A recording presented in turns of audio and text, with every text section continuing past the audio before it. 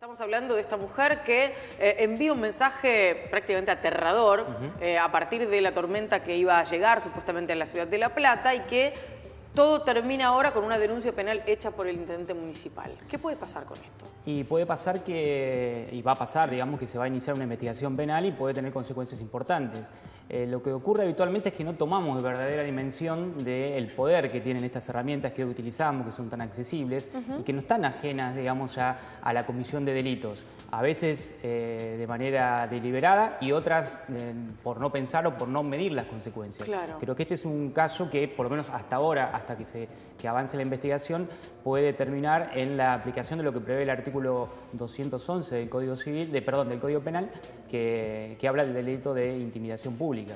Y Ese sería el delito, yo iba a preguntar eso, ¿cuál era la figura? Claro, la figura a priori que podría aplicarse, esto siempre, por supuesto, es materia de, de, prueba, pero la figura que encajaría en este sentido es el artículo 211, intimidación pública, que prevé justamente esta situación cuando alguien, para infundir temor, eh, generar disturbios o desorden, entre otras situaciones que prevé el artículo, eh, puede dar voces de alarma. Claro, Y esto es lo que efectivamente ocurrió después. La justicia ya está interviniendo porque hay una denuncia. Es importante aclarar que más allá de la denuncia, de lo que haga la municipalidad ahora, la, investigación va a seguir porque es un delito que se sigue investigando de oficio.